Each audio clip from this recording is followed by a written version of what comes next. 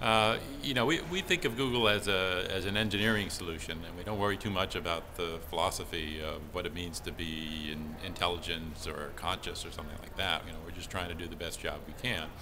Uh, and I guess I think of it as saying that we're uh, capturing the intelligence that's already out there in terms of what the users do, what the searchers do, and we're just trying to uh, bring that back and, and offer it to our users.